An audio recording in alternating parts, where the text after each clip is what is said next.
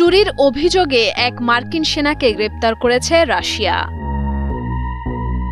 দক্ষিণ কোরিয়ায় নিযুক্ত ওই মার্কিন সেনা কিছুদিন আগে রাশিয়া ভ্রমণে যান। এরপর এক নারীর কাছ থেকে কিছু চুরি করেছেন এমন অভিযোগে গত দোসরা মে রাশিয়ার ভলোদিভস্তক এলাকা থেকে তাকে গ্রেফতার করে রাশিয়ার পুলিশ। এ তথ্য জানিয়েছে মার্কিন প্রশাসনের দুজন কর্মকর্তা। গ্রেপ্তারের বিষয়টি স্বীকার করেছেন মার্কিন ন্যাশনাল সিকিউরিটি কাউন্সিলের মুখপাত্র জন কিরবি. রাশিয়ায় গ্রেপ্তারকৃত ওই মার্কিন সেনার নাম সার্জেন্ট গর্ডন ব্ল্যাক। তিনি যুক্তরাষ্ট্রের টেক্সাস অঙ্গরাজ্যের ফোর্ট কাভাজোসের বাসিন্দা।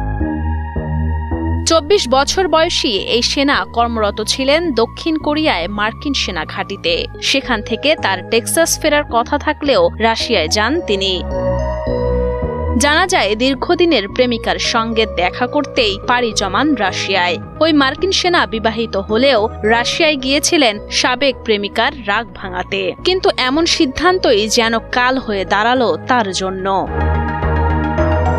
এদিকে ওই মার্কিন সেনার গ্রেপ্তার নিয়ে হোয়াইট হাউসে ব্রিফিং করেছে ন্যাশনাল সিকিউরিটি কাউন্সিলের মুখপাত্র জন কিরবি। এ সময় মার্কিন সেনা গ্রেপ্তারের বিষয়টি নিশ্চিত করলেও বিস্তারিত কিছু বলেননি তিনি।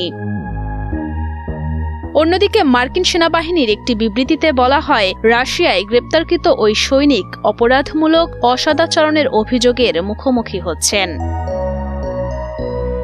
রাশিয়ায় গ্রেপ্তার হওয়া সৈনিককে উপযুক্ত কনসুলের সহায়তা প্রদান করা হচ্ছে বলে জানান মার্কিন সেনাবাহিনীর মুখপাত্র সিনথিয়া স্মিথ।